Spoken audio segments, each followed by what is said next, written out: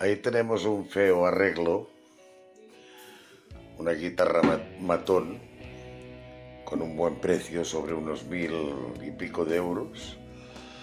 Y ha recibido pues no sé un accidente de aquellos eh, terribles. Porque aparentemente esto es insalvable. Se ha roto la pala. Además un, con una arista bastante complicada de ensamblar Aquí tenemos la, otra parte. Solo queda libre el, el hueco del alma. Todo lo demás hay muy poca madera para ensamblar. También ha recibido una rotura. Aquí. Cosa que intentaremos pues poner empastes de madera, lijar y procurar que quede lo máximo sellada posible. Aquí lo único que se me ocurre, porque claro, encima los clavijeros que están desmontados, son unos clavijeros muy pesados, muy seguros, pero que son los que pesan una barbaridad. La única solución que he encontrado es poner de momento un clavo aquí, atravesando la madera. He agujereado también esta parte más ancha y ahora intentar encolar estas dos partes con el, clavo atravesando para seguridad. Una vez esté seco, lijar en la medida que se pueda toda la parte posterior del mástil, porque así no, no evidentemente no, no puede funcionar. Empastar con madera todos los huecos que queden, porque quedarán huecos por aquí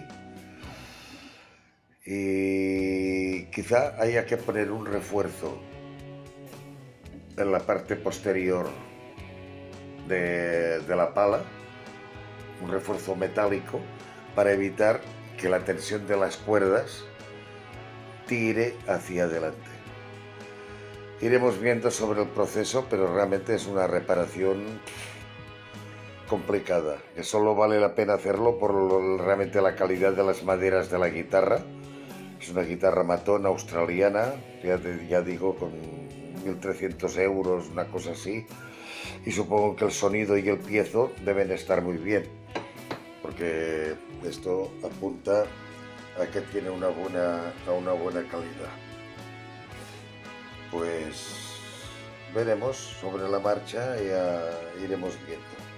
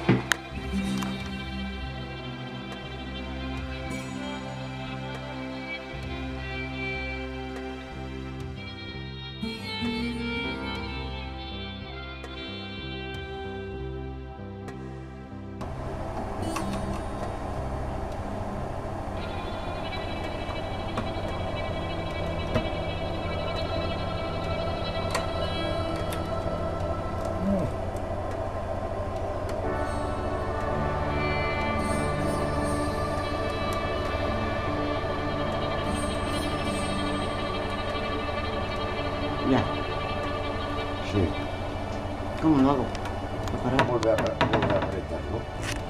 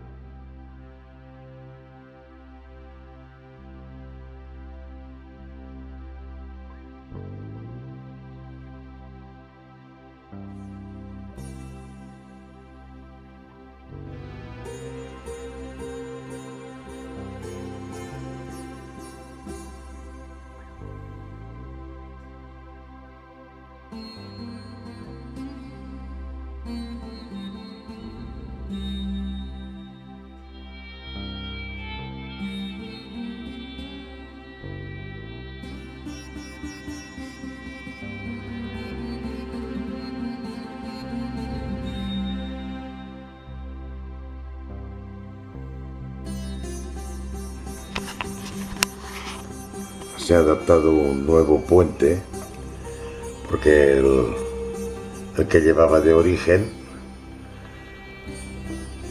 las cuerdas quedaban demasiado bajas y trasteaban. Y esto resultado del accidente de la guitarra que ha quedado la madera toda movida, pero no hay nada que no sea recuperable. En este caso, con este puente más alto, las cuerdas ya quedan alineadas de una manera que, puede funcionar perfectamente.